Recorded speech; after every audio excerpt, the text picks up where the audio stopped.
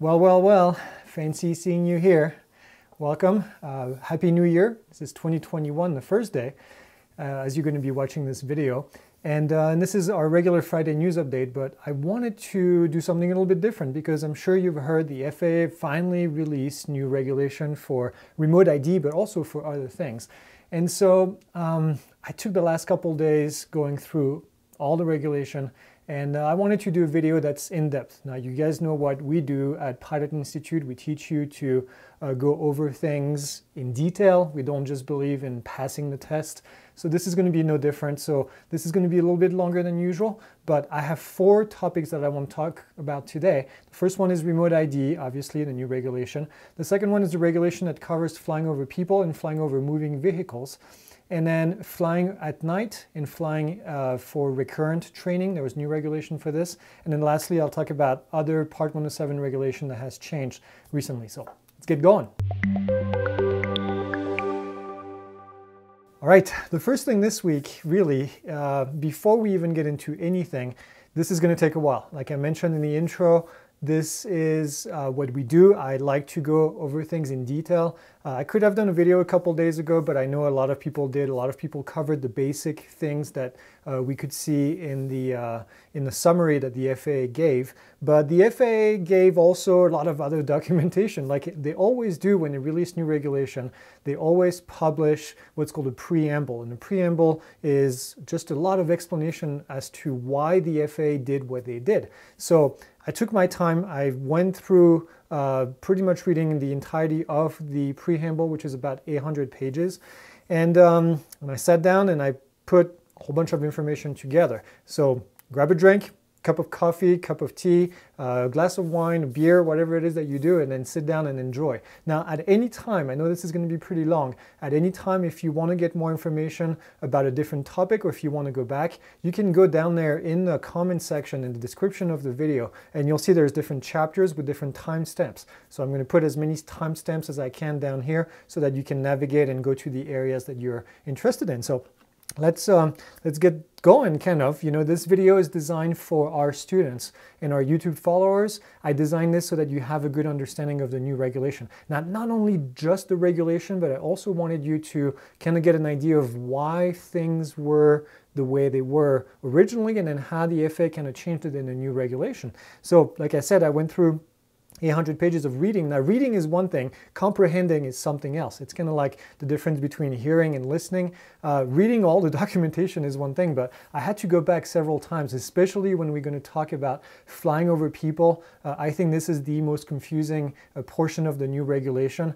Uh, I had to go back several times. I created tables for you so that you can see the comparison between all the different categories. I made a timeline so you have a better idea of how uh, flying at night is going to work. So I, I tried to make this as this is what we do, flight training made easy, right? This is our motto. So I try to make it as easy as I can on you guys so you don't have to go through 800 pages. Now, I'm not gonna lie, some of it was painful, some of it I kind of skimmed through because uh, it was things that I'm not necessarily interested in, things that you may not be necessarily be interested in, uh, such as all the compliance thing for remote ID. So I skipped that portion, uh, not skip, but I kind of skimmed through. Uh, but um, but there was actually a ton of really good information, and uh, and it was really good to get into the brain of the FAA using the preamble and kind of understand why they did what they did. Now you may ask me, Greg, what do you think of the new regulation? And overall, I'm going to say I'm pretty happy. Uh, I was very worried about the NPRM, as many of you were. Uh, we submitted comments, and uh, and I have to say the FAA did listen to a lot of the comments. So it's not perfect by by any mean, not perfect by any mean, but.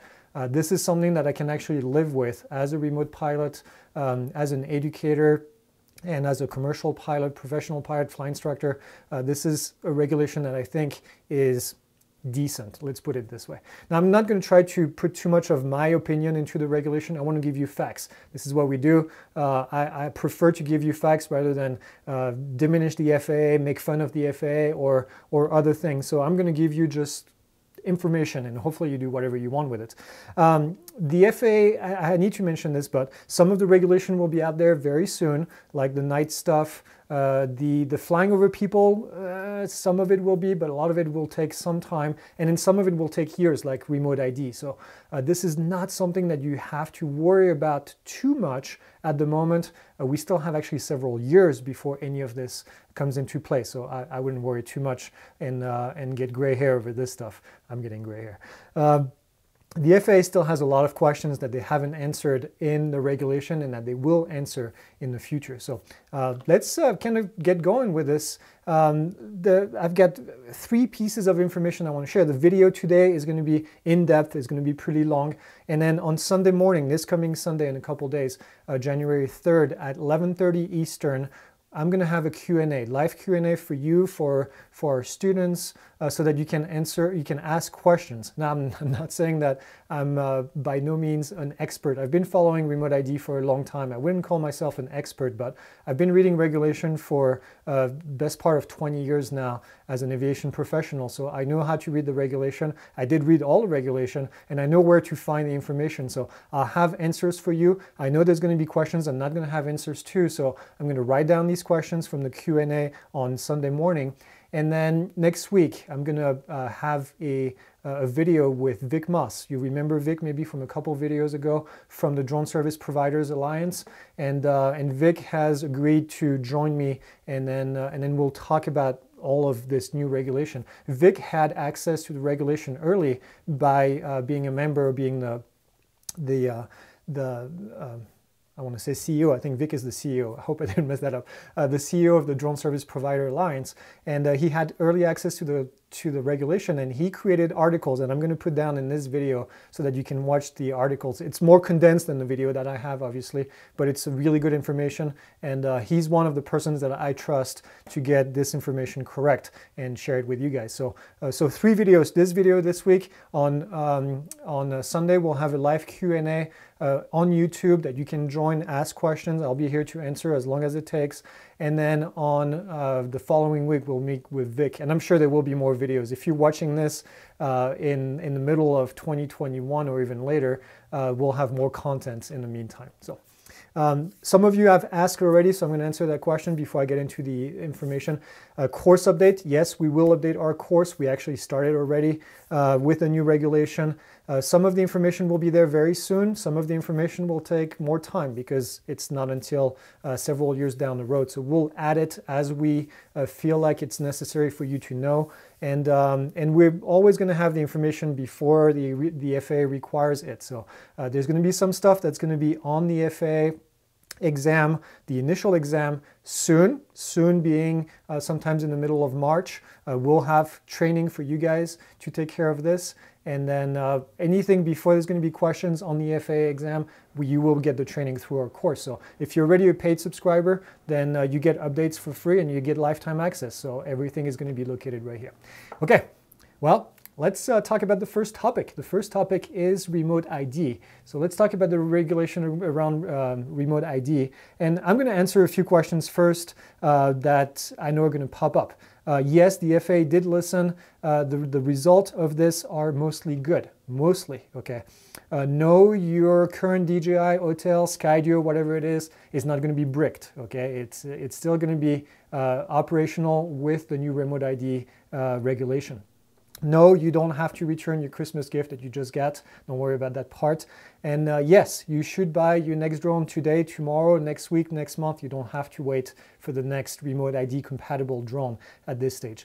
And uh, no, the regulation is not going to go into effect until the middle of 2023. 2023, that's right. So another several years down the road before this happens.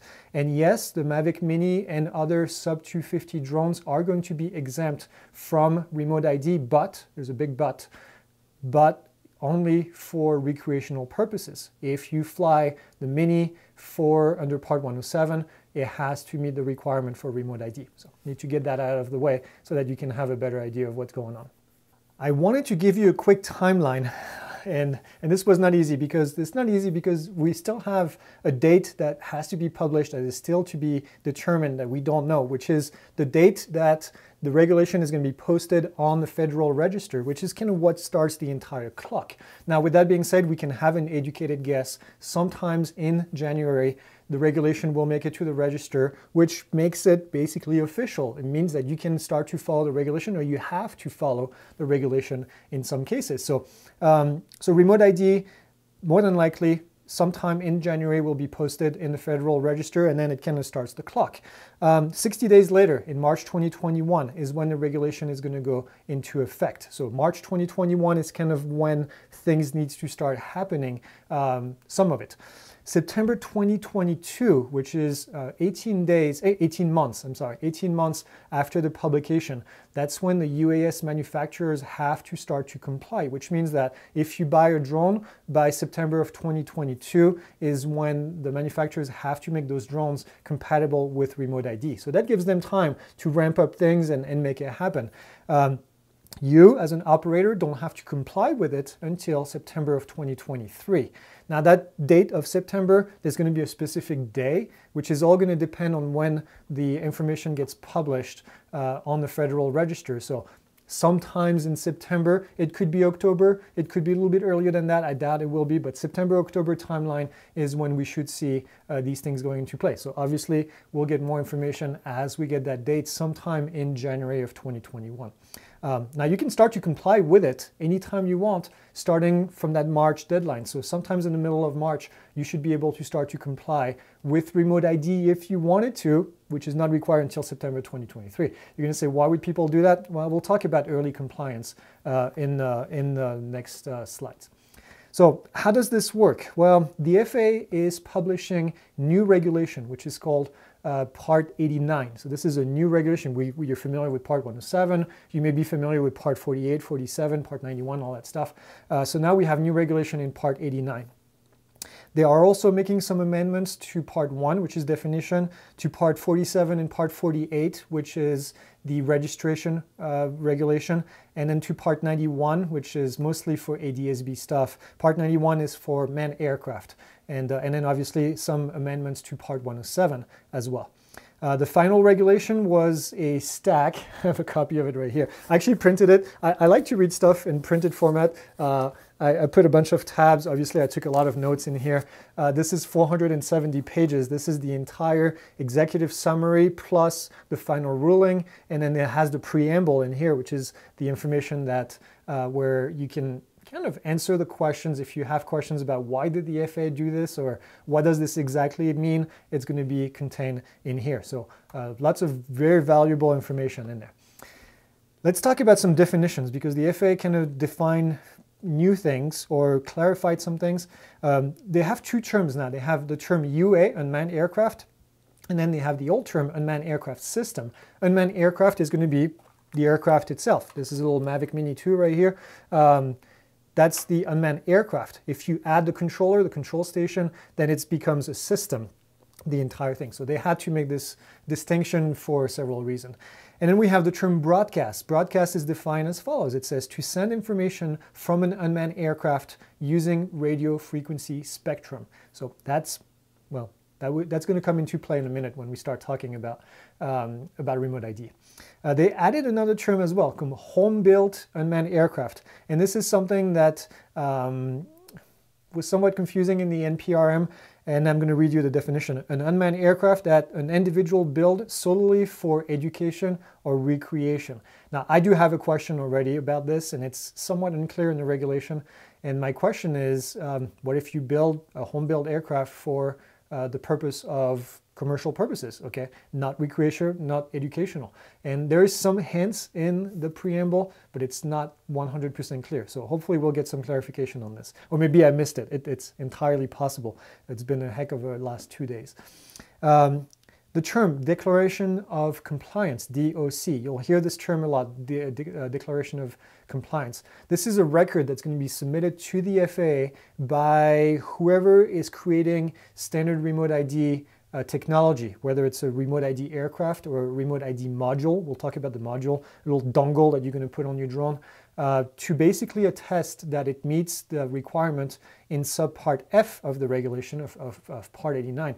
It's basically information that DJI, for example, is going to be sending to the FAA to tell them that they're complying and how they're complying. So declaration of compliance. You're declaring that you're complying with the regulation. So let's get to the regulation itself. Three different methods that uh, you can use to comply with remote ID. The first one is to buy an aircraft that's going to be equipped with what's called standard remote ID. You're going to buy one of these little things right here, and then on it, it's going to say meets the requirement for standard remote ID.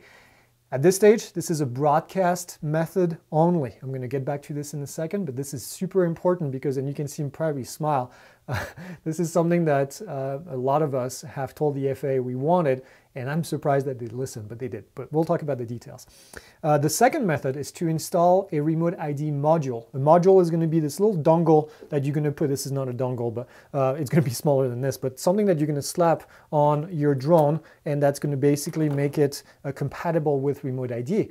Uh, this is a way that you can retrofit older aircraft. Older aircraft or newer, older home-built aircraft, you'll be able to have this little dongle, a module. I'm going to call it module because that's the terminology. Um, the third method is to be able to fly at a FAA recognized identification area. It's called a FRIA. So if you hear me say FRIA, it's going to be a site that the FAA has said, yeah, you can fly there without remote ID, it's safe. Think about your uh, AMA field where people are just flying uh, um, aircraft that uh, are not going to go beyond visual line of sight, that don't really need to go anywhere. Uh, the, the, classic, I'm going to call them the, the classic flyers, uh, can be able, can, can fly out of FRIA without getting any additional equipment, no dongle, no module, or not having an aircraft that complies with remote ID. So that's kind of, that was in the NPRM, they've made some changes that are pretty good. Um, some of the regulation overview here. No, you cannot use ADSB as a method to comply for, uh, for remote ID. ADSB, for those of you that are not familiar, is the technology that is used by manned aircraft in order to be identified. The FAA has said we're not going to use ADSB because it's going to congest the airwaves, uh, it's going to congest the system in itself, and, uh, and we're just going to have remote ID as a separate uh, system. Uh, I'm not against the idea. I think it would have made it very convoluted and very uh, busy for the signal, so not something that's going to happen, which is good. There's no more internet or network requirement. I'm going to say that again, and then you can cheer and sing. Uh, there's no more internet or network requirement. Uh, if you've been following uh, us for a while, you know that um, one of my big complaints, and not only me, but a lot of other people, was the fact that the FAA wanted to require internet uh, connection for the drones to fly. And uh, that was going to be expensive. That was going to require a USS, a, a US um, unmanned aircraft system service supplier. That's all gone. The FAA has uh, scrapped that portion. So that's good. Uh, so that's kind of the overview. You're going to say, who is going to comply with remote ID regulation? Very good question. All unmanned aircraft that need to be registered are going to have to comply with remote ID. So what does that mean? Any unmanned aircraft that are under 55 pounds, 55 pounds not included, have to be operated and that are operated under Part 107 are going to have to comply. Okay, this little sub 250 gram drone, if it's operated under Part 107, it needs to be registered, which means that it needs to have remote ID. All aircraft that are over 250 grams, so 250 grams not included, over 250 grams and under 55 pounds, I shouldn't say 250 grams by the way, 0.55 pounds, it's what's in the regulation. But I like, I don't like 0.55 and 55, so I'm going to say 250 grams. 250 grams under uh, 250, uh, under 55 pounds. If they're operated for recreational purposes, they have to meet remote ID. This little thing right here, if it's operated as a recreational pilot, you do not need to have remote ID. Okay? So, pretty simple. Operated for Part 107, need remote ID. Not operated for Part 107, you don't need remote ID. Um, any unmanned aircraft that are used for public safety. I know a lot of you that follow uh, our public safety students in our course. Uh, same thing, you're going to have to comply with that portion. Now, there's two different exceptions. One exception is anyone who's flying for the federal government. So for the United States government does not have to comply with remote ID. State, local, tribal governments have to have to comply with remote ID. Okay, so only federal government. If you state, local, or tribal government, then you have to meet the requirements. Again, it's all based on regulation uh, for Part 47 and Part 48, which is the registration regulation. So if you have to register your drone, you're going to need to use remote ID. That's the bottom line. Uh, the other exception is for unmanned aircraft that are designed uh, and produced for the purpose of aeronautical research. And aeronautical research is very specific in this case. If you fly for a university, uh, you're not going to you're not going to fall under this category. Aeronautical research is somebody who's doing research for remote ID purposes, for example, something like that. Then they would be exempt in this case. The aircraft manufacturers that are designing these aircraft are going to uh, be able to design an aircraft without meeting the requirement. Remember how I said that DJI, Autel, all these companies, they're going to have to uh, comply with remote ID and create drones that have remote ID technology in it. In this case, they would get an exemption if they design those aircraft for aeronautical research. With that being said, I found interesting, I found a line somewhere, I should have written the page down, but it basically says that even if you are doing aeronautical research, in this case, you would have to install a, a, remote ID module on it to comply, or you would have to fly out of FRIA. So my guess is that if you're doing aeronautical research, you have access to a FRIA, and then you would fly out of FRIA without remote ID. But that, I'm, I'm guessing this is not going to be a whole lot of you. So let's talk about the three different methods in detail. Method number one, get a remote ID equipped aircraft.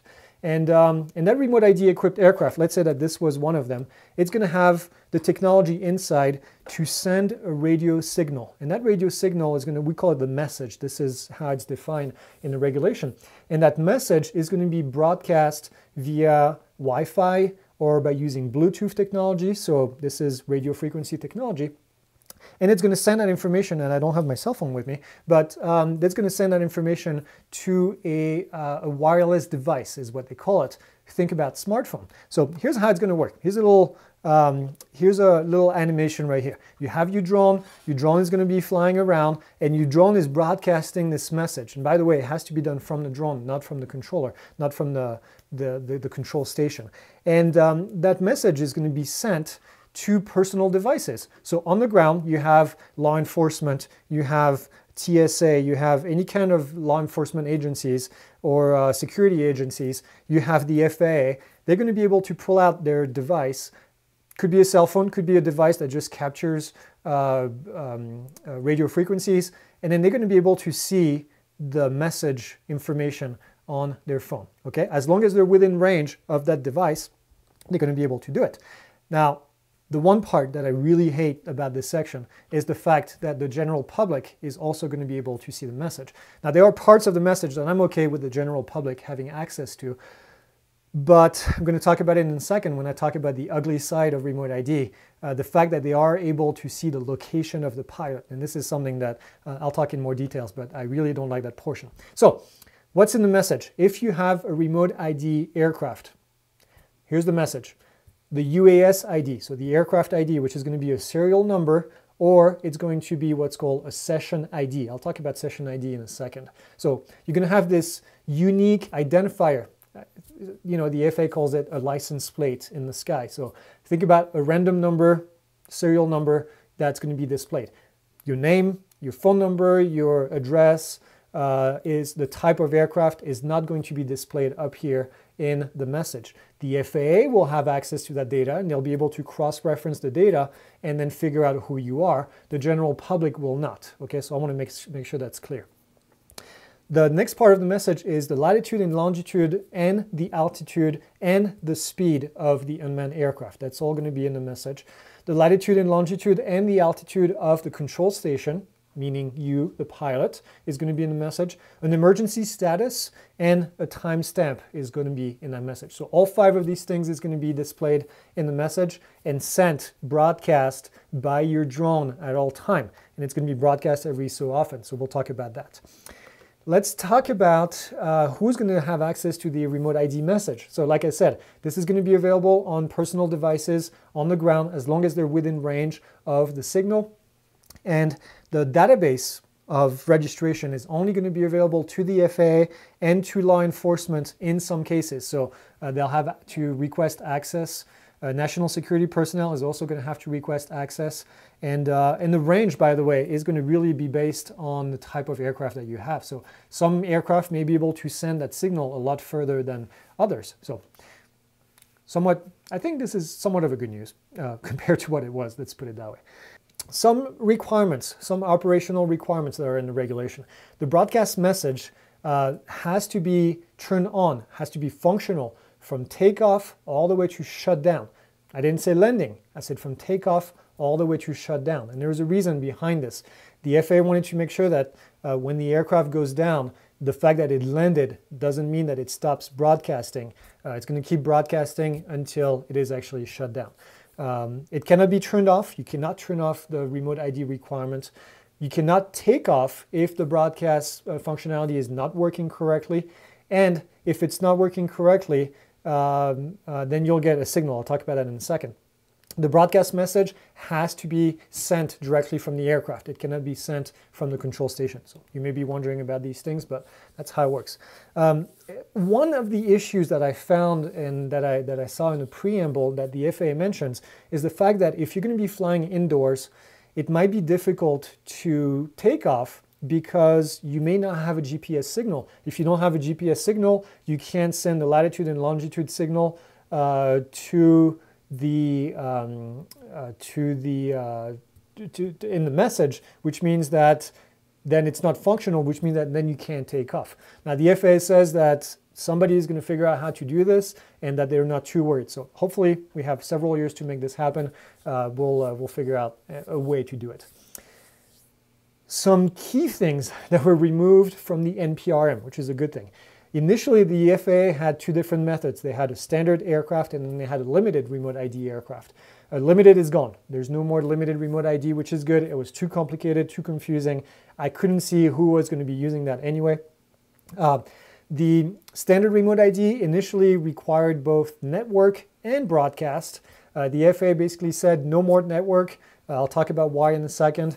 And uh, I can tell you that the telecom companies, I'm sure, are not happy at the moment. They were pushing really hard because they were going to be able to, well, uh, sell more services. So here's a quote from the FAA that I really like. I'm going to read it to you.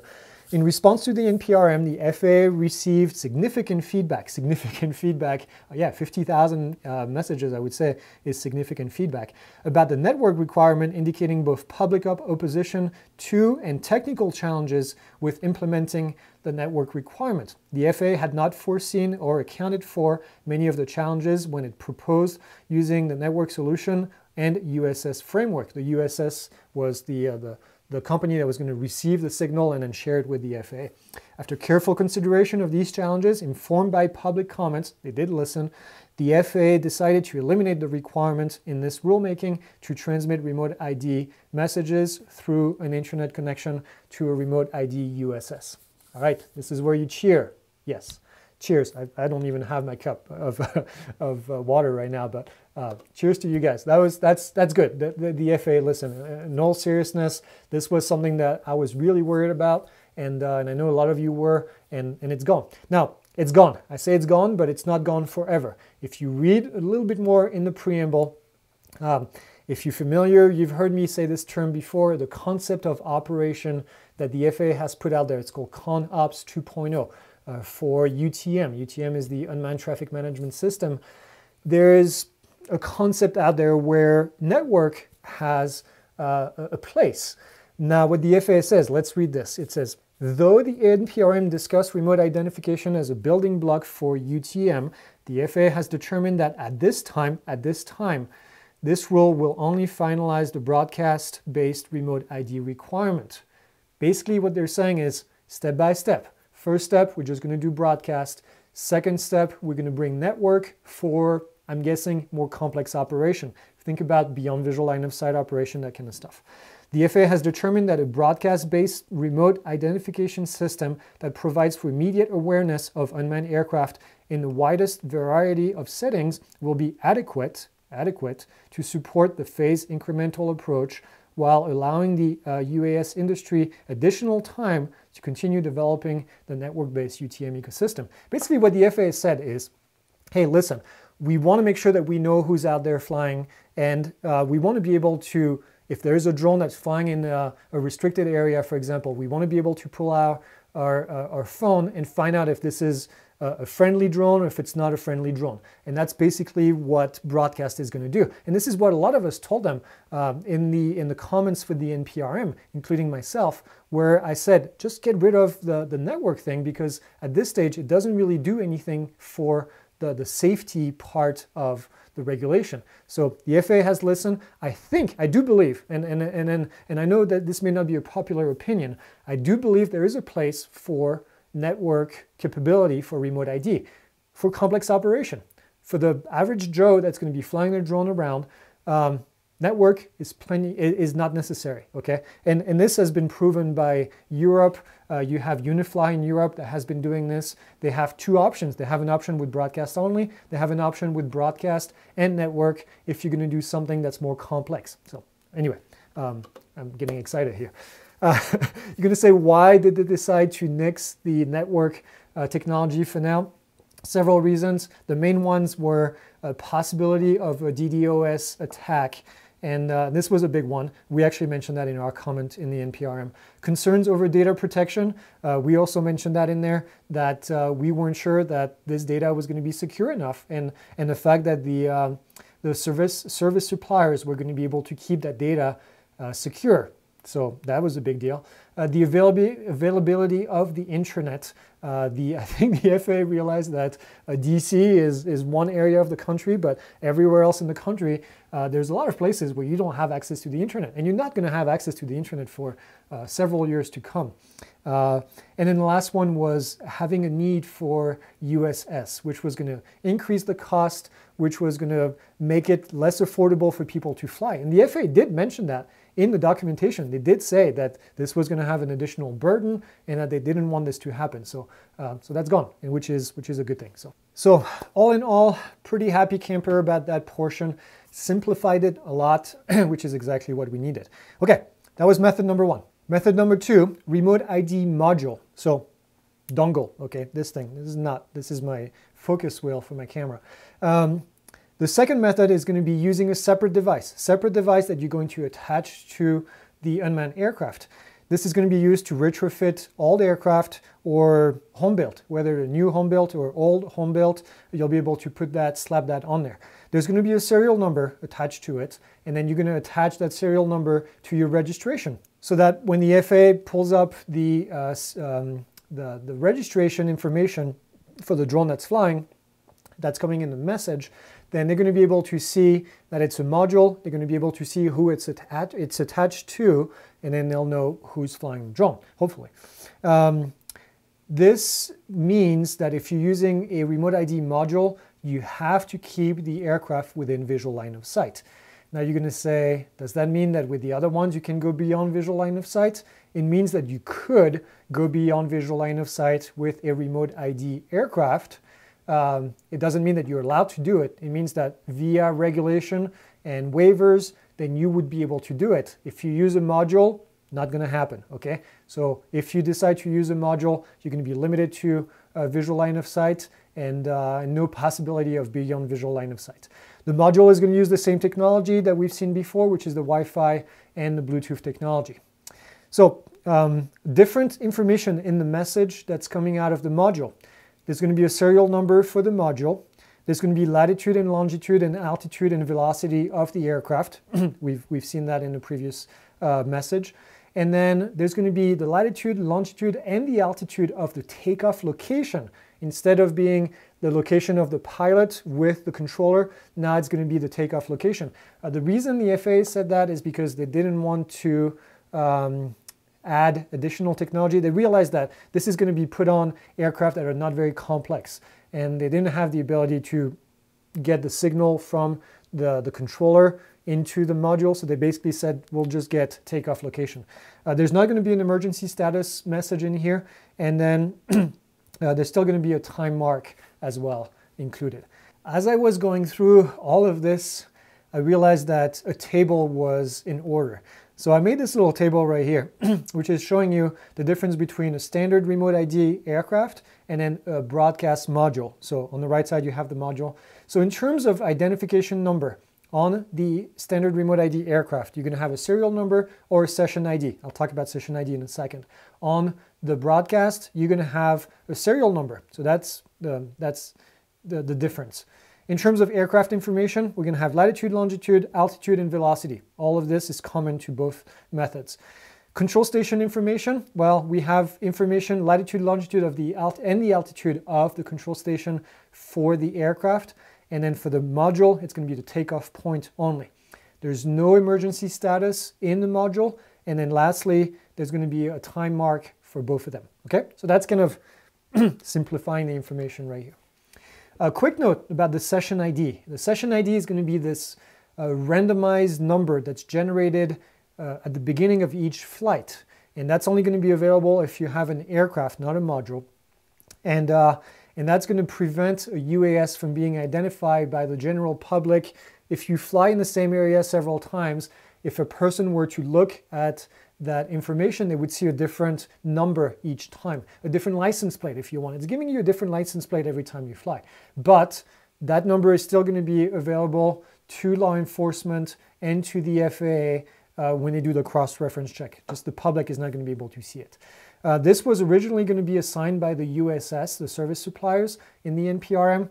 Because there's no more USS, then the FAA is going to work on a solution which is not available at the moment. So they're still working on it, let's put it this way. In terms of the altitude in the message, what we have is uh, the FAA originally they had proposed to use barometric pressure, which was going to mean that you're going to need to have a barometer on board of the aircraft.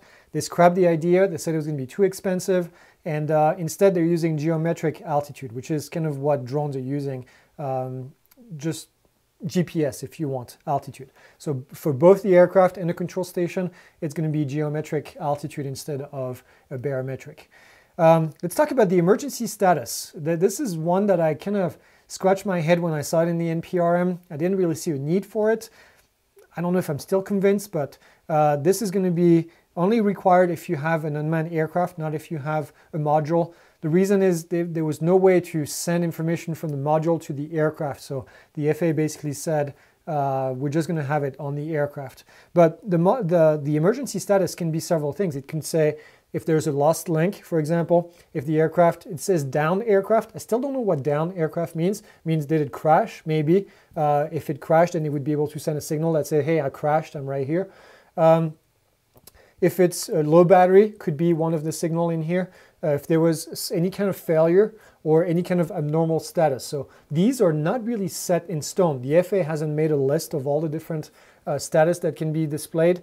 Uh, one thing that's not going to be in there is if the aircraft is uh, flying and has approval, the FAA decided to go against it and they said nope, even though a lot of people had uh, uh commented and, and su suggested that this happened. Uh, and then this emergency status can be either done manually by the pilot or it can be done automatically by the UAS in itself. So uh, two different options in here for the emergency status. Uh, the speed, I, th I, thought this was interesting, so I think it's worth mentioning. The FAA envisions that the speed is going to be a 3D speed. Not only the, the speed of the aircraft move, moving horizontally, but also moving vertically. So if the airplane, if the aircraft was in a descent, for example, then that would be something that's part of the message. So just thought it would be interesting. The orientation of the aircraft was also one of the, one of the uh, requirement here for um, for, um, for that part of the message.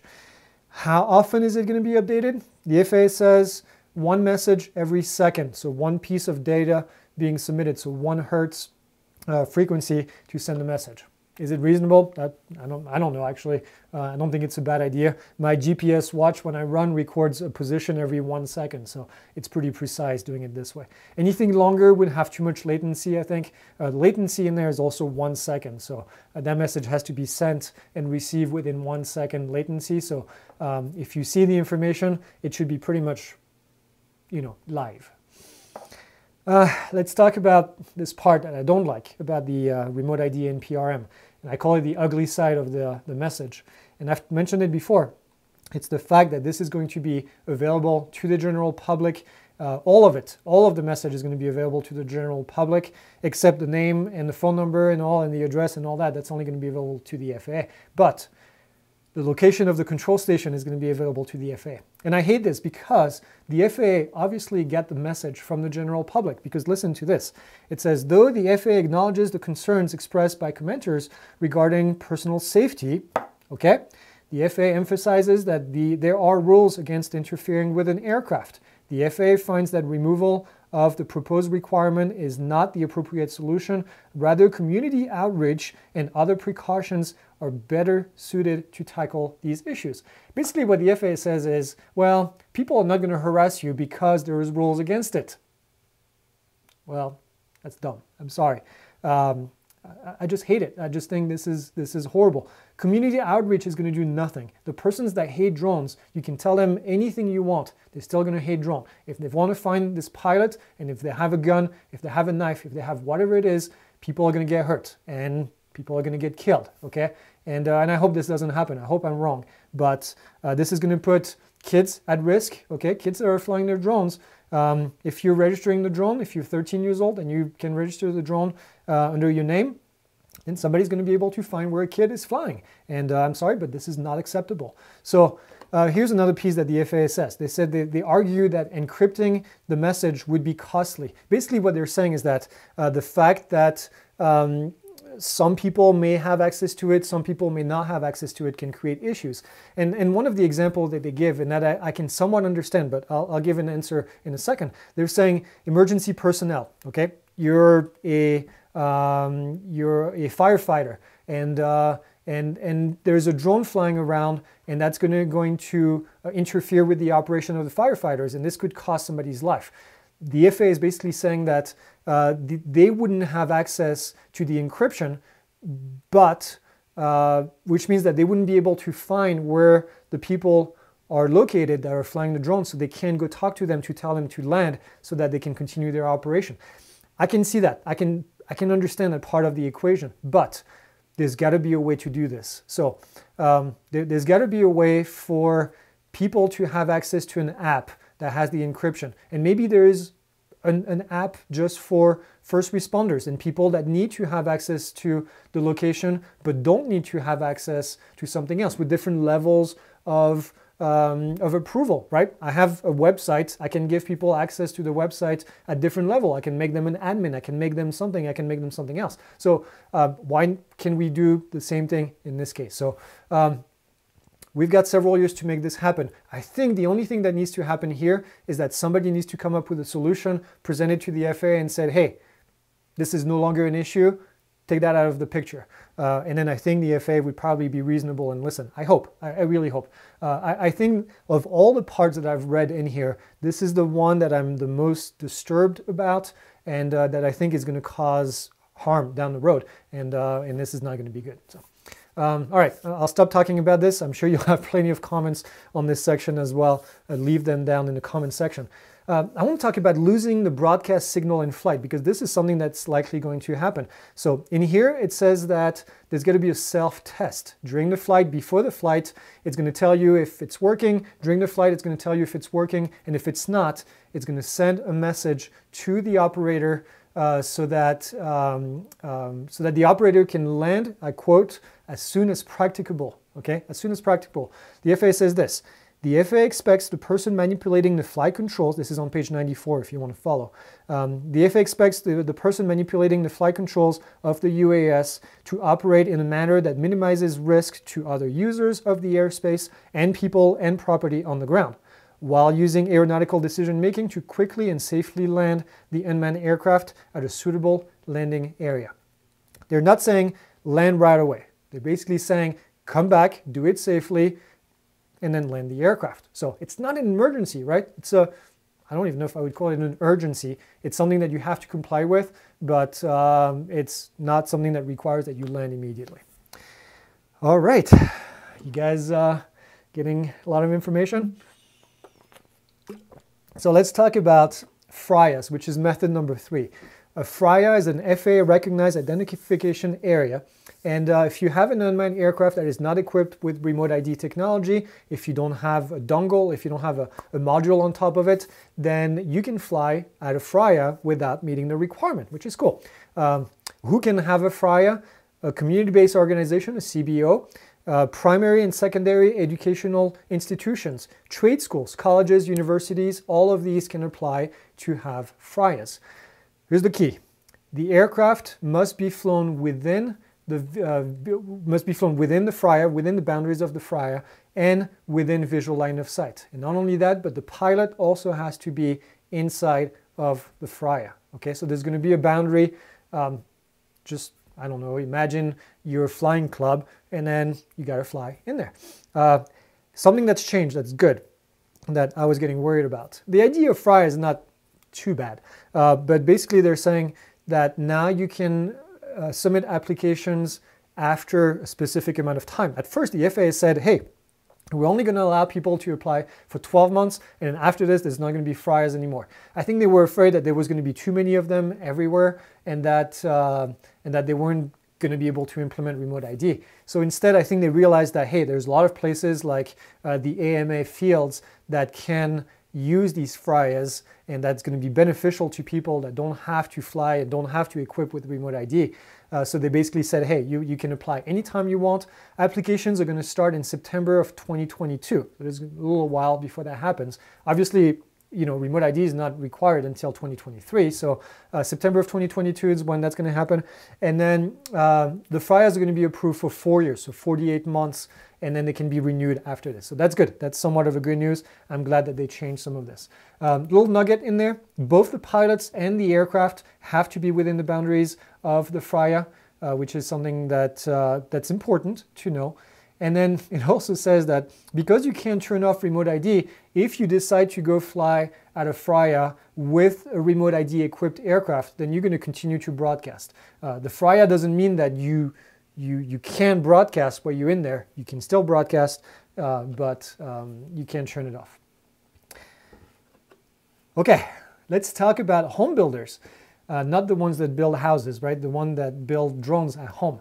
Uh, the, uh, I know this was a big area of concern. I know there's a, there's a whole community that's still not really happy about this, but uh, I think they should be a lot happier than they were when the NPRM came out. But um, in the NPRM, at first the FAA had required that each person that builds their drones at home would have to comply with the regulation, which means that they would have to send that uh, those means of compliance documents to the FAA, which is which was just dumb. Okay, uh, this would have taken thousands of dollars, maybe even tens of thousands of dollars, and uh, that would have just not worked. So instead, the FAA came back and they said, "Hey, um, we're going to let people." Uh, either put a module, so you got three ways that you can comply if you home build your own, hair, your own aircraft. You can put a module on it to comply. You can apply for it yourself if you want to. You could still do that. So you could create your own remote ID uh, technology go through the means of compliance, send it to the FAA, get it approved, and then you're good. Or you can use somebody else's uh, means of compliance. And this is somewhat important. What I'm foreseeing is going to happen here, and I may be wrong because this is still kind of a concept, but somebody out there that wants to make a buck is going to go and create a remote ID compliant device. And then they're going to allow people to build their own based on plans, whatever it is. And then this, these people that created this thing initially, they're going to reply to the FAA and said, here's the means of compliance and for this device. And then they're going to say, here, you can buy it from us, they can give it for free. I'm thinking of, of uh, places that uh, 501c3 uh, um, organizations can probably go through this process, submit the paperwork, kind of absorbs the cost and then give it to their uh, members and basically say, use this for means of compliance and you can use our mean of compliance to build this device and then equip it on your on your aircraft. So uh, again, this is just my kind of my guess based on, on what I read. Uh, I know people are going to be creative, but this is good. This is an option for people to do this. So three different ways to comply as a home builder. I personally, I think one of the easiest thing is going to be to just buy one of the modules and put it on there. I can see these modules being very expensive, and then there's some options where you can uh, actually use the modules in different places. So we'll talk about that.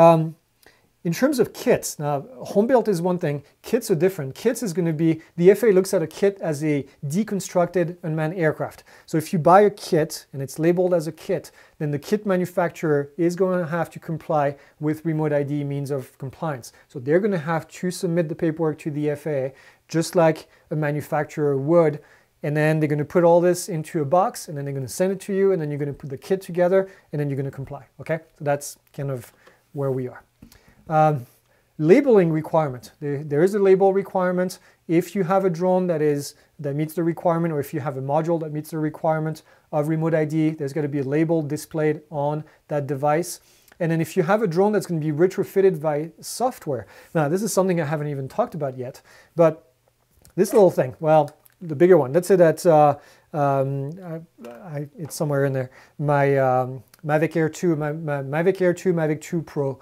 um, more than likely is going to be compliant by software because DJI has the technology on board of these drones already. This one probably as well. And they're going to be able to send the signal without too much of a difficulty. In this case, DJI is going to come up with a label they're either going to mail it to you or they're probably going to have it available online so you can print it and then you'll be able to slap it on this device and then it's compliant, okay? So you need to have a label, that's the bottom line. Let's talk about registration because uh, I, I, tried I tried to make examples and hopefully I'm not going to confuse you too much. Um, it, it becomes complicated because, um, well, just because of the way it's written in the regulation. So I'm going to try to simplify it. There's no changes to the way registration is going to have to be done. If you're flying under the limited recreational exception, so if you're flying for fun, for recreational purposes, if your drone is over 250 grams, if it's less than 55 pounds, then it has to be registered. One registration per person, and then you can slap that registration number on all of your UAS that are flown for fun. Okay? If you are flying under Part 107, no changes either. Each of the drones that are operated that are under 55 pounds have to be registered. They're going to have a special registration number and then you slap that on the device. So that's, that's no different. Now what's a little bit different now is that you're going to have to provide the FAA with, um, with serial numbers uh, and, um, and serial numbers of a, a module of an aircraft is going to have to go in there. So if you're going as a recreational flyer, all right, then you're going to get what's called a certificate of aircraft registration. Registration card, whatever you want to call it. They, it's kind of a new name. It's a, I always call it registration certificate because that's what we call it in manned aviation. But certificate of aircraft registration. And then on that aircraft, on that certificate of aircraft registration, in the FAA drone zone, you're going to tell the FAA all of the remote ID aircraft that you have, all of the modules that you have, and then all of the aircraft that you have that uh, need to be registered but don't comply with remote ID. And so you're going to put all of these things in there, and then when one of these numbers pops up, then the FAA is going to be able to cross-reference it to you as the pilot. $5 per person, good for three years, no change there. And then there, there's no indication really that you're going to have to pay extra to add those serials, serial numbers as long as your registration is valid. I have a valid registration still from um, for uh, recreational flying, so I could go in there and add those um, those uh, numbers without any additional cost. Okay, I hope this is clear. You can use one, and this is kind of important, and it's kind of buried in there. You can use one remote ID module for several aircraft if you're flying as a recreational flyer. Okay, this little dongle, I can put it on my Mavic Air 2. I can put it on my, well, no, not really, because it doesn't need to be registered. So bad example. I can put it on my Mavic Air, uh, yeah, my Mavic Air 2. I can put it on my um, Mavic 2 Pro. I can put it on my Inspire. If I'm flying all of these for recreational purposes, I can keep switching the module from device to device and, uh, and, and be fine, okay? So that's not a problem. If you're flying under Part 107, things are a little bit different because now you have a serial number, a remote ID serial number for your remote ID aircraft, or for your module, and it can only be associated with one certificate of registration, okay? I have an Inspire 2, I have a Mavic Air 2, I have a, a Mavic 2 Pro.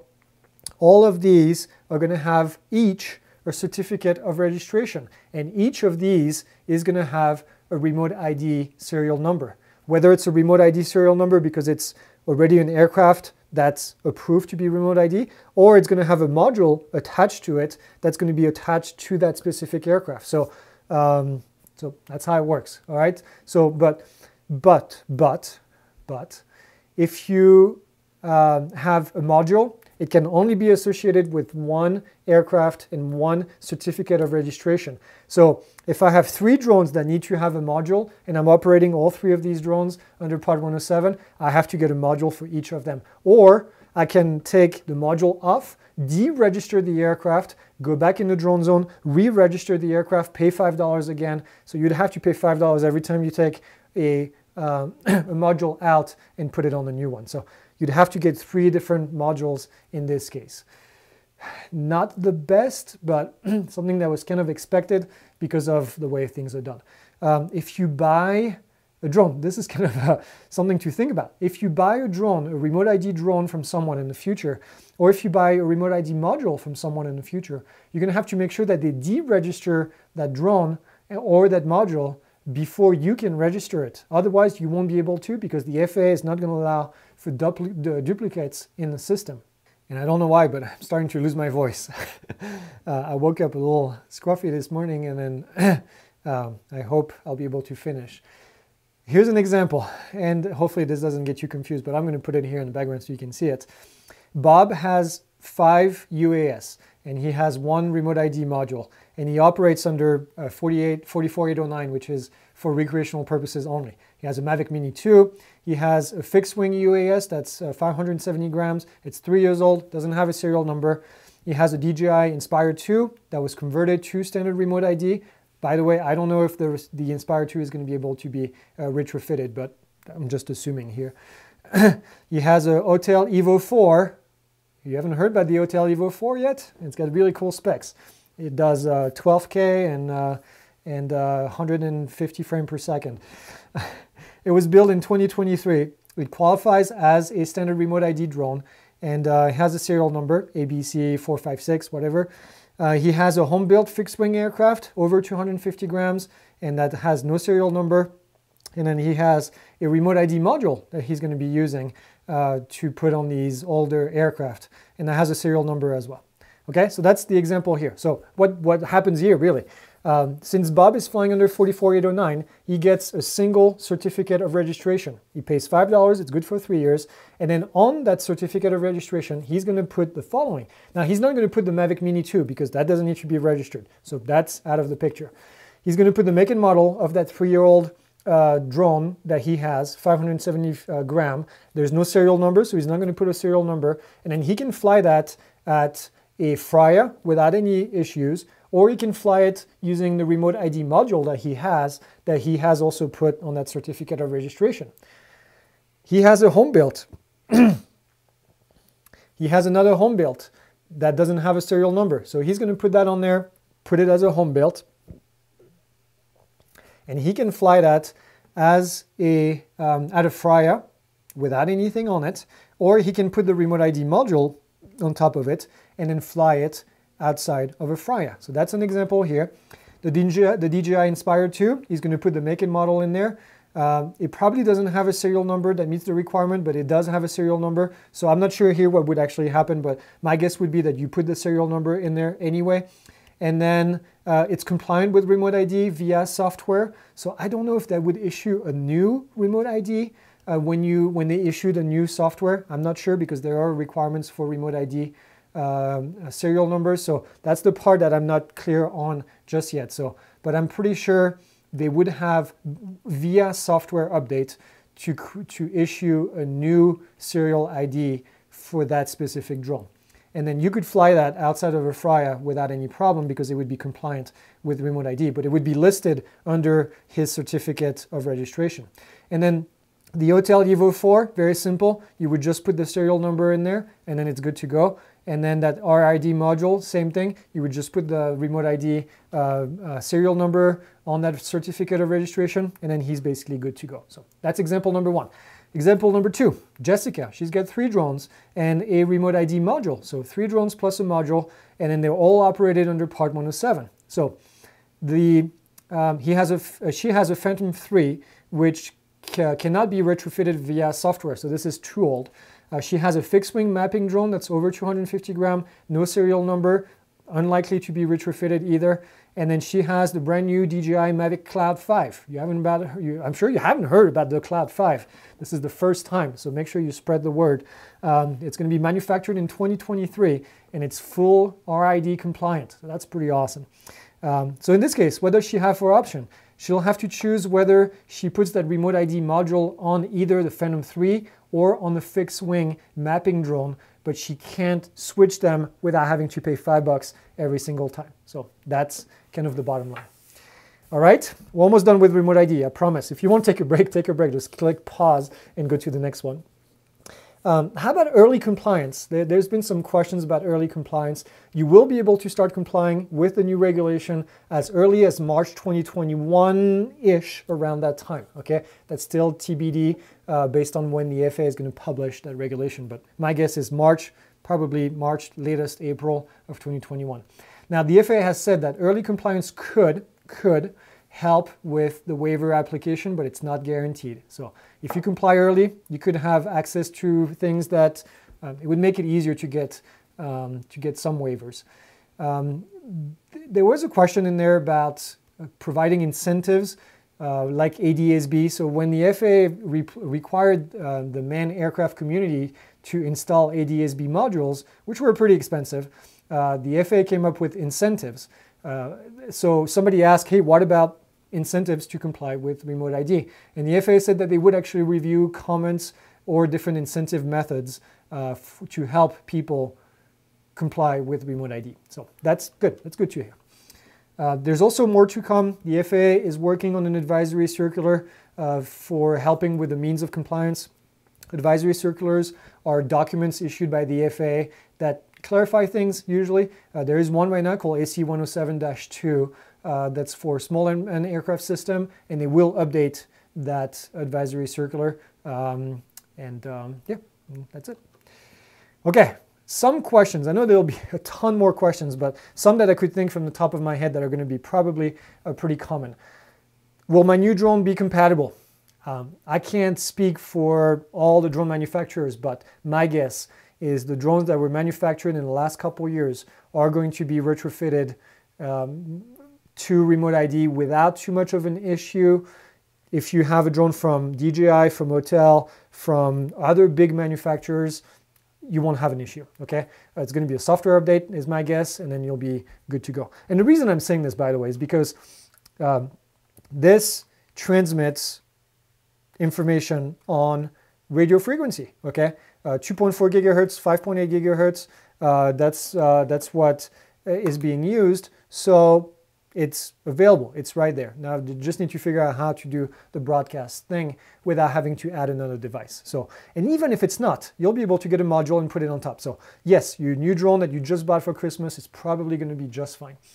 Will you be able to install the remote ID module yourself? Yes. Uh, the answer, if you look on page 87, there's some information there. The FAA says that you'll just have to follow the instructions provided by the module manufacturer. So that's good news. Um, the other question, is this going to be on the exam? I feel like I'm with my students at the, at the, at the college right now. Uh, yes, it's going to be on the exam eventually. Uh, not sure how much of this is going to be on the exam. Uh, there's going to be stuff for sure, like the night stuff that I'm going to talk about in a minute, flying over people. Night stuff is going to be on the exam very quickly. Uh, the remote ID stuff will be on the exam in the future. We've got plenty of time to put it in there. Uh, before anything goes onto the exam, the FAA updates the Airman Certification Standard, the ACS. When I make a course, any FAA course that I teach, I go to the Airman Certification Standards, I look at what the FAA wants you to know about, and then I create a course. So uh, at this moment, there's no update for the Airman Certification Standards, although there is an update in Part 107 that says that uh, now I need to teach you about night stuff. Good news is I've been teaching about night stuff for 20 years to man aircraft pilots, so we have all the information available. We just need to uh, make a nice little video and then put it in the course. So that's going to be coming up very soon uh, to a course near you. Okay, that's it for remote ID. Uh, that's a ton of information, but you know what? Bottom line, it's actually pretty straightforward. Buy a drone that's compatible with remote ID starting in 2022 sometimes in the middle of 2022, or have an old drone, slap on a device on top of it. You can comply with it. If you don't want to buy a device, if you're just flying at an AMA type of airfield, then just go fly at a FRIA, and then you don't need to uh, to comply with remote ID, and life is good. So I know, I know it's not going to work for everyone, but I think this was a good consensus. I'm actually pretty pleased, very surprised that the FAA went through all this. I remember writing my comment and saying, um, just get rid of the USS, just get rid of the network thing, thinking, hey, why not? The worst they can say is no, right? And uh, thinking that it was never going to happen, and it did. So, uh, so miracles do come true. All right, let's talk about the next topic, which is flying over people, flying over moving vehicles. Now, I'm going to say this. Um, this is probably the most, flying over people, the most complex piece of the puzzle. And I don't know it's because I got into it after having spent a day and a half reading about remote ID, but man, I had to read through this several times and, um, and, and it could have made it easier. Um, so I'm going to do my best to make it simple for you, but but it's complex, okay? And because it's complex, uh, there's a possibility that I may say something that's incorrect. Now it's going to be minor, I'm sure. Uh, I'll, I'll, be putting uh, uh, updates in the comments if I do something, say something stupid, uh, but please don't hold it against me. I'm still learning as well. There's just it's just complex and there's just a ton of information in there. So um, changes to regulation. Just a quick overview of what is going on. Nope you can fly over people anytime you want. There are still some limitation. This is not a free-for-all, okay? No, the Mavic Mini alone does not allow you to fly over people. So just because you get a Mavic Mini and you read somewhere on uh, some website that now you can fly over people or you can fly at night, it's not the case, okay? There are some stipulations, there are some ifs that you have to follow, and that's what I'm gonna teach you right here. Yes, this is only for Part 107. If you are flying under uh, Section 4, 44809, which is recreational flyers, nothing has changed there. You still can fly over people. You can fly at night. I'll talk about that uh, with some limitations. But no, you can't fly over people willy-nilly uh, just because, well, just because you read it somewhere in an article. Okay, so flying over people. There's I'm going to divide this into two things, flying over people, flying over moving vehicles, which is a different set of regulation. There's four different categories that are going to be applied to drones. A drone has to fly, has to fall under one of these four categories in order to be able to qualify to fly over people. And even then, there are some restrictions as to the type of flying over people that you're doing. So I'll get to that. So category one, two, three, or four. Simple, okay? So that's what we're gonna do. Let's take a look at this diagram. And, and I thought doing a table was the easiest way to compare all four of them because as I was writing the slides, I kept looking at different things and I was like, well, what was it for category one? What was it for category two? So I, I have three pages here of tables where I'm gonna compare different things. Category one, category one is the easiest. This, there's a weight limit of 0.55 pounds, 250 grams. So the little mini right here falls under category one, possibly with some exceptions. Um, it says in here, no exposed rotating parts that can cause laceration, and there's a yes. So basically, you have to, or the manufacturer of this drone is going to have to prove to the FAA that this is not going to have exposed parts that can cause laceration. I'm going to get back to this in a minute because there's some well, there's some intricacies in here. Um, there's, is there a requirement for no safety defect? No, there's no requirement in here. You'll see why, because there's a requirement for the other categories. Is there an injury limit? There's no injury limit. So they basically, the FAA said, hey, these things are so small that uh, we know if they eventually hit someone, it's probably not going to kill them, and, uh, and there is no real injury limit that needs to be proven. Okay, that's the easiest way of saying this. For category 2 aircraft, Anything under 55 pounds is going to fall under category 2.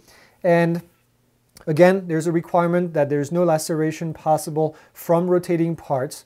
Um, there's another requirement that there's no safety defect. So I'll talk about this a little bit, not so much about the safety defect because this it's kind of just a, a bunch of words uh, in there that are just confusing, but uh, there's an injury limit and, and here's how it's measured. It's measured in foot-pounds of kinetic energy. Basically said that this object, when it falls, it cannot create more than 11 foot-pounds of kinetic energy. What is kinetic energy? It's energy, okay? Energy is, is, is, uh, is power, okay? And uh, so they're basically looking at how powerful of an impact if this drone falls from the sky, it's going to create on a human. And, and there's a reason behind this 11 foot pounds. This is not something the FAA found. There are some standards out there. So the drone manufacturers are going to have to prove that if this drone falls on someone, uh, then it's not going to have this kind of injury level. Okay? I hope this is not too confusing. In category three, we have pretty much the same requirements, except the uh, injury requirement or the injury limit has been upped, which means that now the drone can create more damage.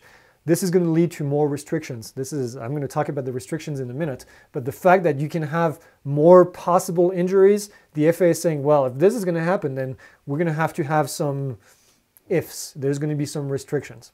And then the last one is we have category four. Category four is if the aircraft has an airworthiness certificate approved under Part 21.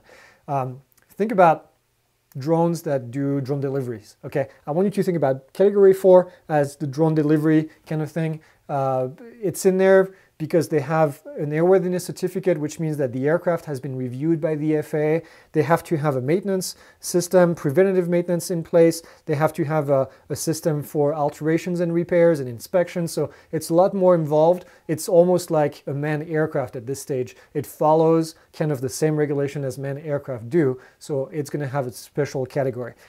I'm not going to go in detail about category four because the 99.9% of you that are watching this are not going to care about that part.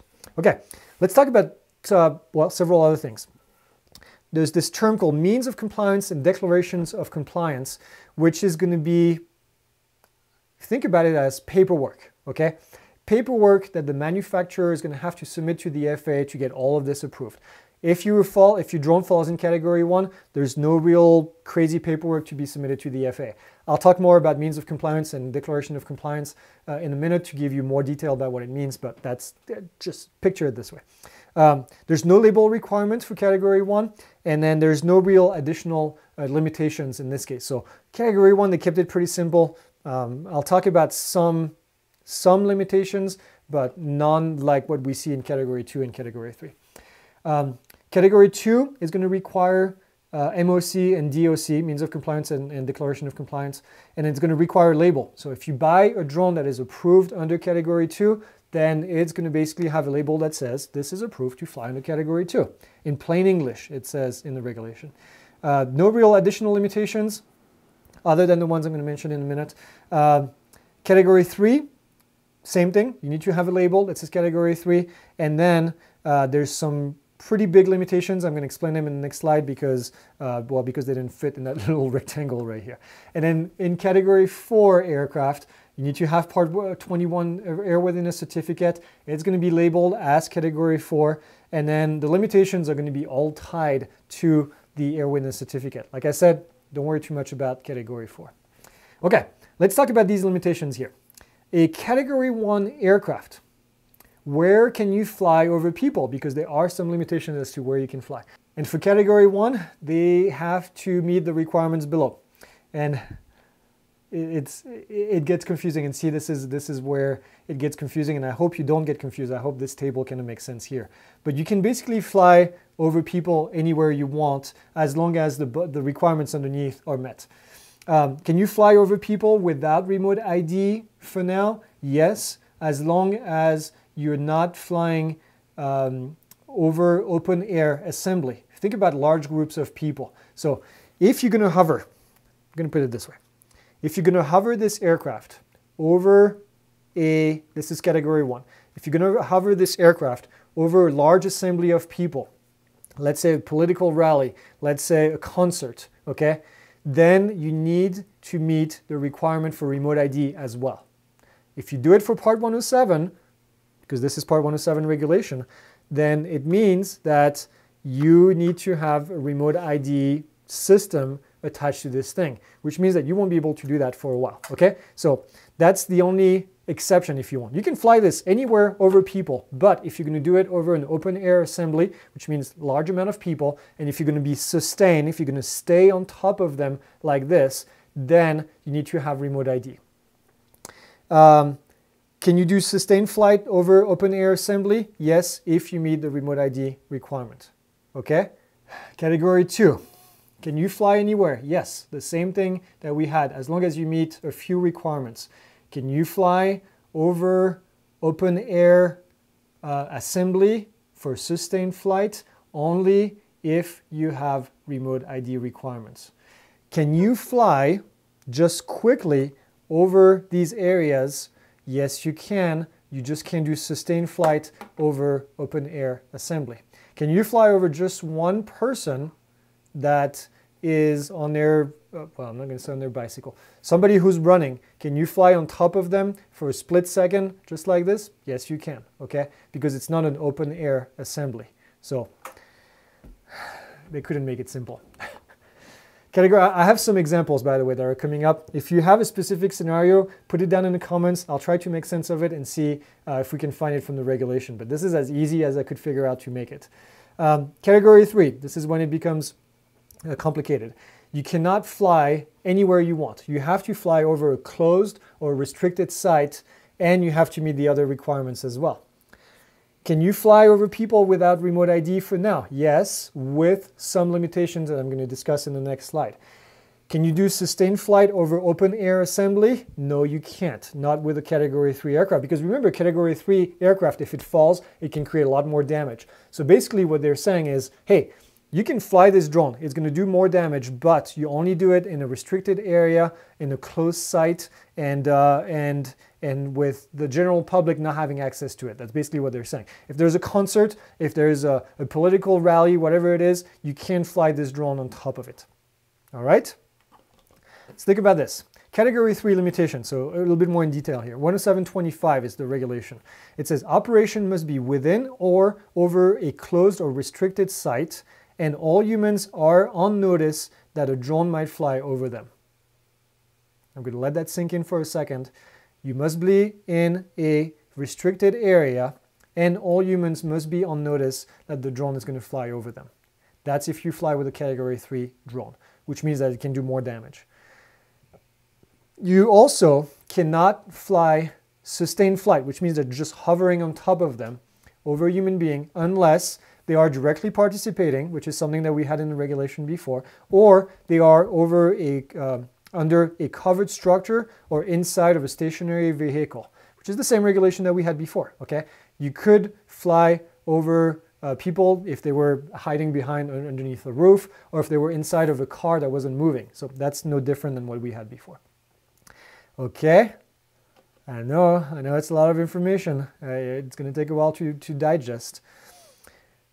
Now, I wanted to have definitions because, because I know you guys are going to ask. What is sustained flight? Sustained flight includes what? Hovering above the heads of people that are gathered.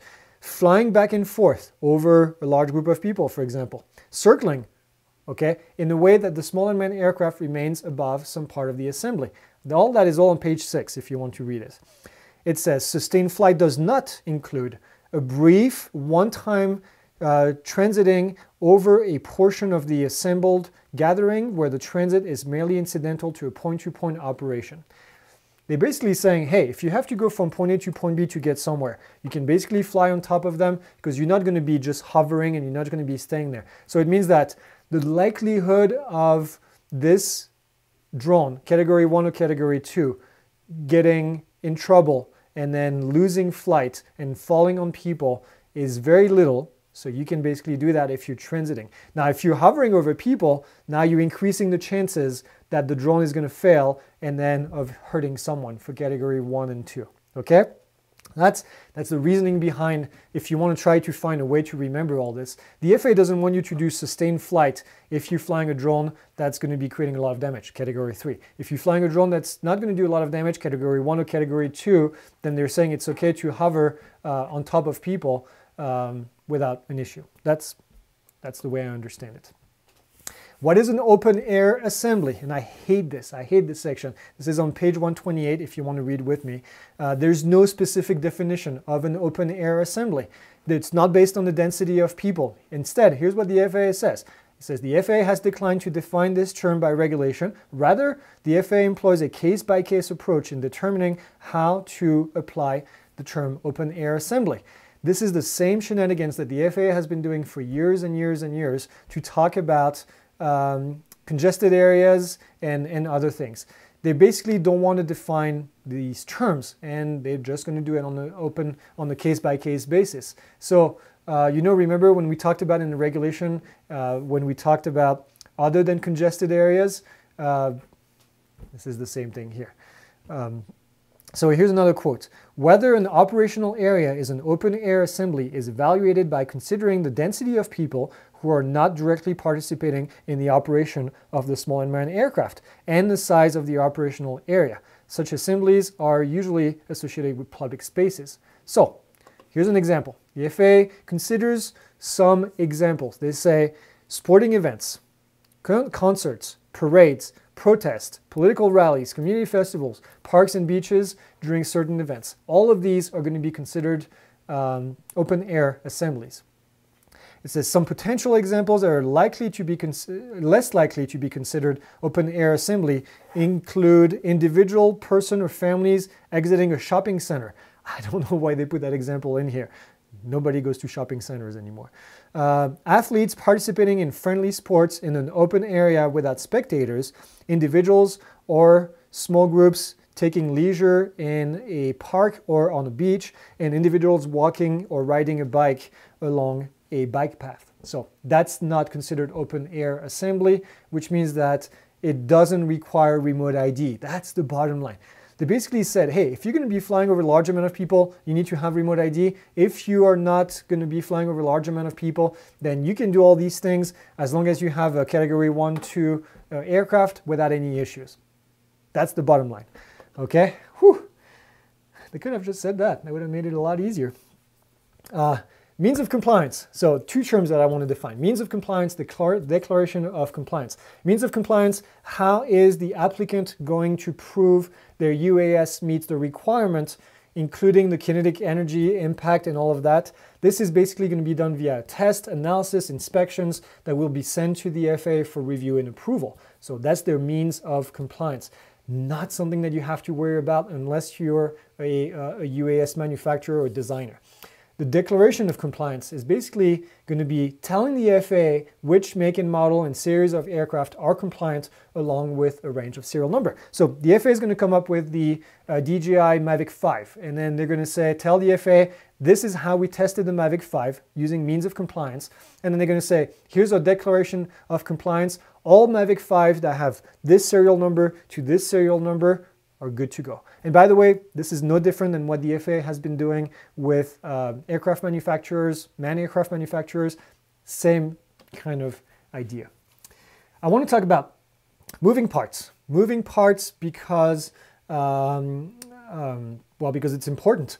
That there, there is some regulations in there that says that there cannot be any moving parts that are going to create lacerations. And, uh, and there's different methods of doing this. You can think of prop guards. I have my prop guard somewhere for this little device right here. Uh, you can put prop guards on top of it, and then it's going to prevent laceration. The problem with the prop guards is that they're heavy, and they take the drone over a certain weight. The Mini 2, for example, it's 242 grams without the prop guards. It's 289 grams with them. So then it takes it out of category 1, puts it in category 2, and then, well, and then it doesn't work anymore.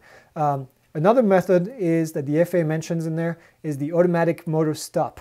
The idea is in an emergency, the motors would stop completely and then the props can't create lacerations. So that's something to think about.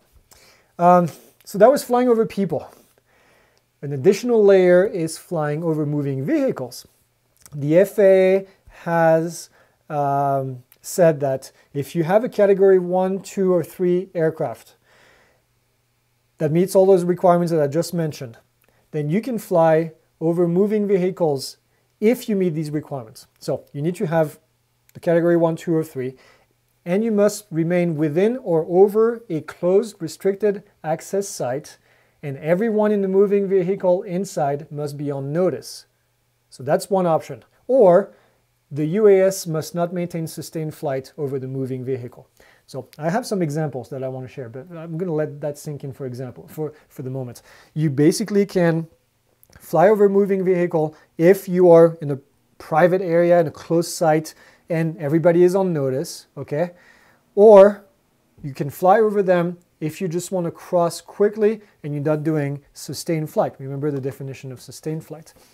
So what's a vehicle? First, let's talk about what's a vehicle. The FAA says anything that uh, is a mean of transportation, regardless if it has a motor on it or not. A car, a truck, a bus, a train, motorcycle, scooters, roller, coaster, roller coasters are all vehicles. A bicycle is also a vehicle. A watercraft, okay, sightseeing vessel, motorboats, a personal watercraft, all of these are all vehicles in the eyes of this regulation. So here's an example. You fly over your friend on his or her motorcycle on a racetrack. You're directly flying on top of him the entire time. That's legal if the site is a restricted area, okay, where not everyone can go, and if everyone is on notice, then it's not a problem. You need to, another example, you need to cross a highway for a shot. And this happens a lot. People ask this a lot. What if I'm just flying real quick on top of the highway and uh, I'm only going to be there for a split second. It is legal as long as there is no sustained flight, okay? So only if you're doing transit, then technically it is legal in this case. If you're recording a video by flying directly over the uh, sightseeing boat that you just noticed in the distance, you see this boat, you, oh, that's pretty cool. I'm just going to fly on top of them, right on top of them, and cruise along with them.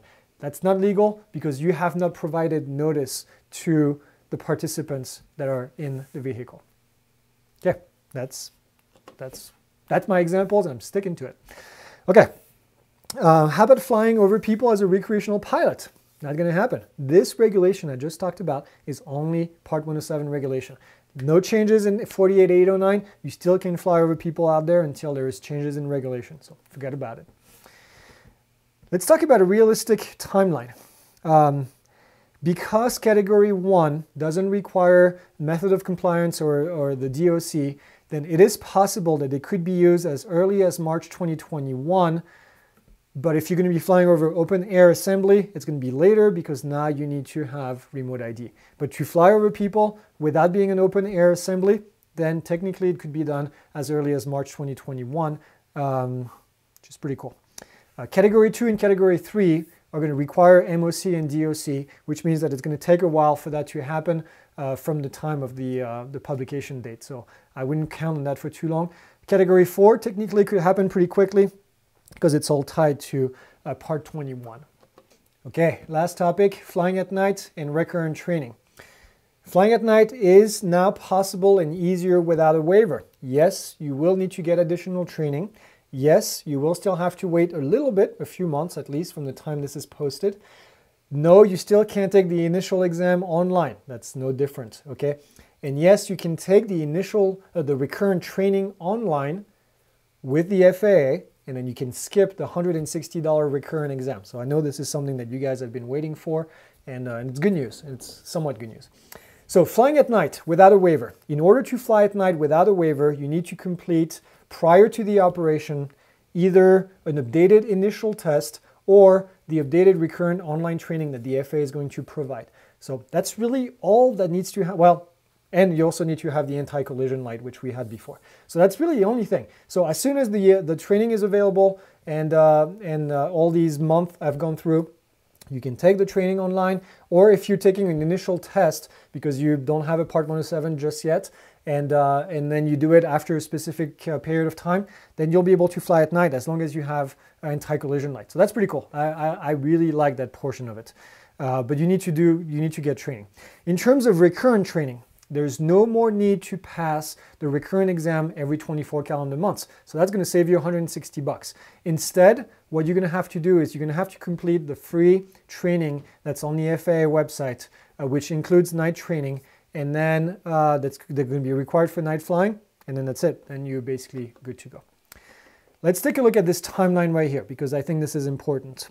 Um, it starts with January, February, March, and April of this is 2021. There's going to be a publication date at one point for this regulation. My guess is somewhere in the middle of January right here, but it's it's still TBD.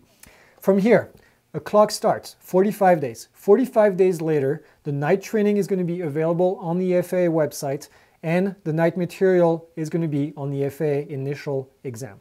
So this takes us to somewhere possibly um, in the beginning of March of 2021. So here what happens, the night training becomes available on the FAA website. But wait, this is not it. If you are a 10729 holder, then you can fly, which means that you have a, a, a daylight waiver, you can fly at night. Then you can fly at night as soon as you take the training, right away you can start to fly at night without really having that waiver. Although you could still continue to fly at night because, uh, because you have a waiver. Now that waiver is going to eventually expire, but we'll talk about that. Now, starting from that time, okay, from the time that the training becomes available on the FAA website, there's a 15 day training period where it's a hold period as well, where people that don't have a waiver can get trained. Don't go on the first day that it's available, don't go take the training just yet, okay? Because you're gonna overload the server at the FAA and then everything is gonna crash and nobody's gonna be able to do training. So just wait, you have 15 days. It doesn't matter because you can't start to operate anyway until the end of the, the end of that cooling period, okay, of that testing period of 15 days. So then, 15 days after this, you can start to fly. If you don't have a waiver, you can start to fly at night as long as you did the training. So realistically, if you don't have a waiver at the moment, you will be able to fly at night sometime in the middle to the end of March of 2021. By but you have to take the training first and you have to have those flashing lights on your drone first, okay? So get the training, you have 15 days to do it. You can't start flying anyway, even if you do the training. If the day that the training comes out, if you don't have a waiver at the moment, if the day that the training comes out, if you take that training, you're still gonna have to wait 15 days, okay? So don't rush to do the training. Just do it sometime during that 15 day period and then you'll be good to go. And this is a question that's already come up from someone, from one of my students. Uh, no, you do not need to comply with remote ID in order to fly at night. Two different regulation, completely irrelevant. Now you will in 2023 when remote ID becomes uh, re required, but at the moment you can fly at night without a waiver as long as you meet all the requirements I just said, no need for remote ID. Uh, in terms of waiver, if you have a waiver that was issued prior to the publication date, uh, what's going to happen is it's going to expire 120 days after publication date. So if you have a waiver, I have a night waiver. That night waiver is going to be valid basically until May-ish of 2021. After that, you'll have to do the training online and then you'll have to uh, follow the new procedure. But until then, the FAA basically gave uh, people that have a waiver a little bit of time uh, to, uh, to apply for that training and do the training. So that's kind of a good news. Uh, where's the training going to be? You may be asking about the training. It's going to be on the FAA website under FAAsafety.gov. Here's what I want you to do. At the end of this video, go to FAAsafety.gov, create an account today, and become familiar with the website. Um, it's, uh, it's a great place to get recurrent training. I've been using it for, for almost 20 years now because that's where the FAA has all the training for uh, manned aircraft pilots.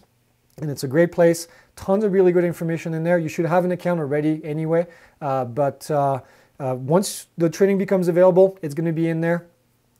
Uh, the training is not available yet, so if you do a search for UAS, you're going to find certain things in there. You're going to find some training modules. One of them is recurrent training for uh, for manned aircraft pilots. This is not the training that you want to do, okay? So if you go in there between now and March and you see some training, recurrent training, this is not it. This is, don't take it. Don't, well, I mean, you can do it if you want, but it's pointless. And by the way, the reason I'm saying don't go on the FAA website the day that the training comes out is because there's over 200,000 remote pilots at the moment. If all 200,000 of them go on the website and start to do the training, it's going to crash. I know the website is going to crash anyway on that day, but uh, try to prevent going in there to do the training. It's not going to happen. Um, if you're one of my students in the Part 107 course, you will be getting the night training for free through our course before it becomes available on the FAA website. Uh, it will cover everything that the FAA is going to cover and some more. uh, but it won't count as official training. So our recurrent training does not count as official FAA training. Nobody will. So if somebody else is telling you that it does, that their training is uh, valid, it's not. You have to do the official FAA training. But we'll give you, just like what we do all the time, we'll give you more information than, uh, than the FAA. Okay, one more slide, and then I'll let you guys go, wrap it up. Uh, we've, I've been talking for a while now. Uh, hopefully you stayed with me because I know this is important information. But uh, there's been a change in the FAA. Uh, this is who you need to present your remote pilot certificate and your ID uh, when inspection. So in the past it was only the FAA. Now it's the FAA, the NTSB, any uh, federal, state, and local enforcement uh, law enforcement officers can have access to your your remote pilot certificate and your ID if they're asked. Uh, you must make it available. Now to the FAA only, you need to make available any documents, record, and reports that are required under the regulation. Not required for uh, the NTSB and then the other people, but uh, required in here. So, okay, I'm done. Um, I hope this was something that uh, provided value for you guys. There's going to be more videos. Like I said, join me on Sunday. Or leave you comments down there if you have questions. I'll do my best to answer them tomorrow uh, in the next couple days um, and today, I guess. Uh, today, today for you is tomorrow for me. On Sunday, 11:30 Eastern and 8:30 uh, Pacific, uh, I'll be having basically a Q&A, answer all your questions as, as well as I can, and then hopefully having some great discussions with you. So I'll see you then. And in the following week, we'll be talking with Vic Moss and uh, from the DSPA and hopefully answering even more questions then. So that's all I got. Happy New Year. Uh, I hope uh, 2021 is a lot better than 2020 was for many and uh, and I and I wish everyone a lot of success. I know there's going to be a lot of things that we need to adapt to with this new regulation, but it's an exciting time. It's an exciting industry that is changing. So regulation changes are going to happen in the future. This is not the last, and this is not the first. This is not the first. This is not the last that we're going to see regulation changes. So that's it. Signing off, and then I will talk to you guys on Sunday morning.